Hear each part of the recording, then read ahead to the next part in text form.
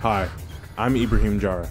I'm a storyboard artist who's worked on projects such as Marvel Spider Man, Final Space, Overwatch 2, Star Trek Prodigy, and X Men 97. I want to show you my process in making a storyboard start to finish in Storyboard Pro. We'll go through writing down beats and thumbnailing, taking your work from rough to clean and what that means.